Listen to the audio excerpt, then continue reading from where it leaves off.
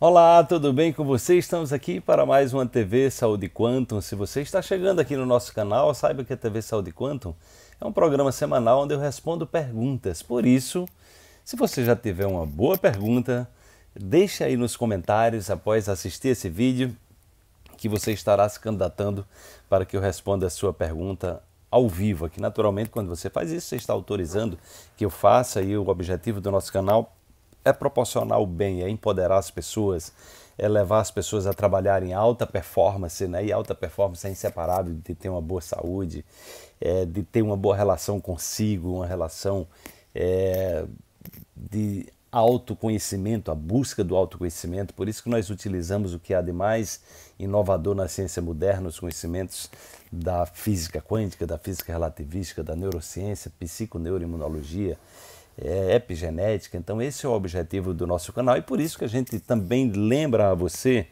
é, da importância de você curtir, né? De você curtir e compartilhar. É dessa forma que nós expandimos o bem. Né? Se você está recebendo um conhecimento que você reconhece que é importante para você, é? E as pessoas entram no nosso canal espontaneamente. Nós temos hoje é, mais de 100 mil pessoas nos seguindo. Nós nunca fizemos divulgação do nosso canal.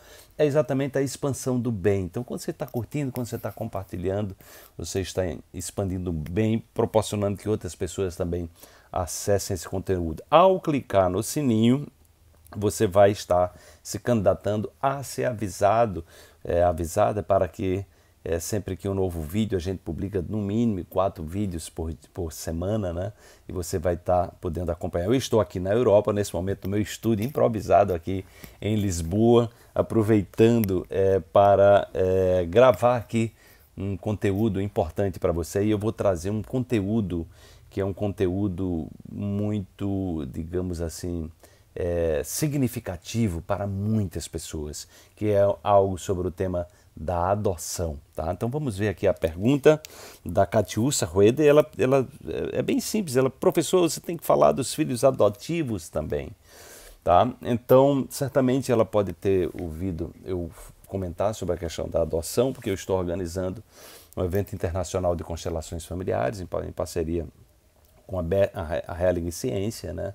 A Sofia Helling, que é a esposa do Bert Helling. Então, estou tendo a oportunidade de entrevistar grandes é, pesquisadores, estudiosos, as pessoas que criaram a constelação familiar. Né? Então, estou entrevistando vários professores da Alemanha, do Brasil.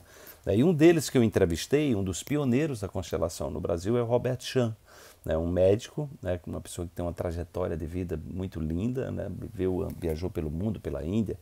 Então, foi um médico que, desde o início, ele percebeu a incongruência da do conteúdo da medicina que é só voltado para a doença, pouca coisa sobre saúde, ele foi em busca de conhecimentos que o empoderassem. Né? E ele hoje, é, a, além de médico, é um constelador, é uma pessoa, uma referência no Brasil. Ele foi que, é, que organizou o primeiro workshop da, da, da, da Mimansa, né? que é uma discípula direta do Bert Hellinger. Foi ele que organizou o primeiro workshop aqui é, de, de, constelação no, familiar no Brasil com a Mimansa, né? então ele tem uma história muito linda. E ele é um estudioso, ele lançou um livro sobre especificamente essa questão das constelações é, envolvendo a adoção. Então ele me disse que é algo muito complexo. Né? Então a grande questão é o seguinte: ninguém substitui os pais, tá? Então a pessoa que vai adotar uma criança, ela jamais deve fazer isso porque é, a relação não está indo bem, então vamos trazer uma criança de fora para ver se isso dá certo, se melhora a nossa relação.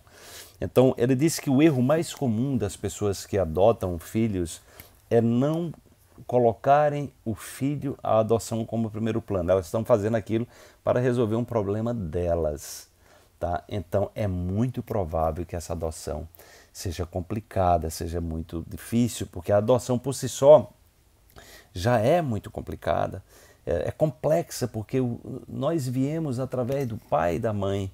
E nós queremos, a nossa força está estando do lado do pai e da mãe. Né? Então é muito importante que as pessoas que, que estejam é, envolvidas em adoção, que elas tenham essa consciência da complexidade que elas estão vivendo, que elas façam isso por amor a alguém. E, e o Roberto diz: olha, uma coisa que eu recomendaria que a pessoa pode fazer é, por exemplo, é melhor para a criança ficar próximo dos pais. Claro que às vezes os pais não estão realmente em condições. Tem pais que, é, é, que deixam os filhos porque eles têm medo até de agredir os seus próprios filhos. Então são situações reais que acontecem. Mas se tiver alguém da família que puder cuidar dessa criança e uma pessoa puder pagar, já que ela quer investir, né, fazer o bem para uma criança, segundo ele é melhor você pagar alguém né, para fazer isso, que seja da família, porque há, há, há uma necessidade de você estar dentro do sistema. Né? Então, eu fiquei muito impressionado com isso, né, onde ele disse que é um, é um é, é algo muito complexo, muitas, muitas, muitas, é, muitas adoções, adoções não dão certo, são complicadas, é, porque as pessoas, é, quando as, quando as pessoas ficam adultas, elas, elas têm algo que leva na, a, a, elas a buscarem o pai, por isso que é importante os pais, que os pais adotivos nunca neguem os pais é, biológicos, né? ou seja, honrem, ensinem a criança a honrar Claro que as pessoas que estão se disponibilizando a fazer uma adoção já é um ato de amor, mas que isso seja pela criança, nunca seja por ela, né, nem pelo marido, ou seja, para tapar um buraco afetivo na relação, ou seja lá do que for. Né? E que você entenda que se você vai fazer uma adoção, você se prepare para essa complexidade.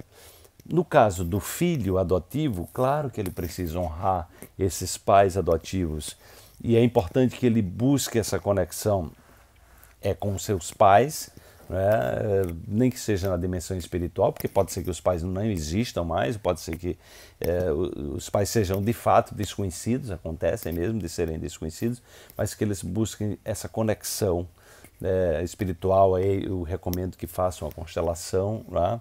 é, honrando os pais adotivos, mas não, não, o Roberto deixou muito claro isso, não existe a possibilidade de ninguém é, assumir o lugar do pai e da mãe. Então é importante que você que adota uma criança tenha esse essa consciência, você dê o seu melhor, faça isso por amor, né? ou seja, faça isso pela criança, querendo criar as melhores condições para ela, sabendo que ela tem um pai e uma mãe e que em algum momento ela vai se movimentar nesse sentido e é importante que você apoie essa criança, esse adulto muitas vezes, porque é natural, é natural que nós nos movimentamos, nós nos movimentamos em direção à fonte daqueles que nos deram a vida. Então eu recomendo às pessoas, em função é, dessa experiência de, de, de, ter convivido com essa, diretamente com os grandes mestres da constelação, especificamente quem trabalha exatamente com, com, é, com filhos, é, é com casais que têm filhos adotivos,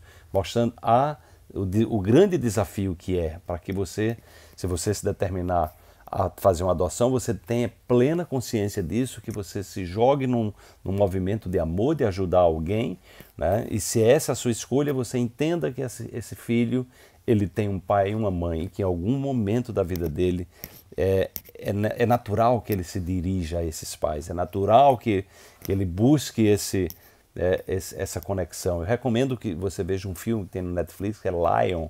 É, é um filme que fala exatamente de um processo de adoção, né, de uma pessoa que adota um, um, garoto da África e em algum momento ele, ele volta, ele tem que ele termina encontrando a mãe dele. E isso fazia parte da saga dele, entende? É, então é, é muito importante que a gente é tudo que seja feito, seja feito por amor, pensando no outro, jamais em você. Então, recomendaria, em função desse conhecimento que eu adquiri, que você está pensando em adoção, jamais faça isso para tapar uma lacuna. Se você fez isso por engano, que você busque essa reconciliação, oportunizando que essa criança ou esse adulto de alguma forma se aproxime dos pais mesmo que seja energeticamente, mesmo que seja espiritualmente, porque pode ser que eles não existam de fato, mas isso vai ser uma forma de contribuir para que essa pessoa, né, esse, essa, essa criança, esse jovem, esse, esse adulto, ele possa é, se sentir conectado à fonte que lhe deu a origem. Tá? Se você gostou desse, é, desse conteúdo, lembre de deixar o seu like, né? É, compartilhe também o nosso vídeo, clique lá no sininho e deixe a sua pergunta. Se você não teve uma pergunta, deixe um comentário sobre o que você achou, porque é a partir dos seus comentários que nós vamos aprimorando nossos conteúdos. Esse canal é voltado exatamente para o empoderamento pessoal, é levar as pessoas a ter uma consciência de autocura e que elas possam aumentar a sua performance a partir de uma melhor convivência consigo mesmo é, onde elas possam se relacionando consigo, elas possam ter uma melhor relação com os outros e com o mundo. Cuidado consigo, cuidado com o outro e com a natureza. Um grande abraço, na próxima semana nos vemos mais uma vez por aqui.